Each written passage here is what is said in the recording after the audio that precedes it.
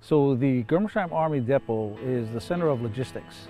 Co-located here on this installation is AAFES, DLA, and DECA. Our primary mission here for DECA is to support our 33 commissaries, our 26 U.S. embassies, and our four Navy exchanges.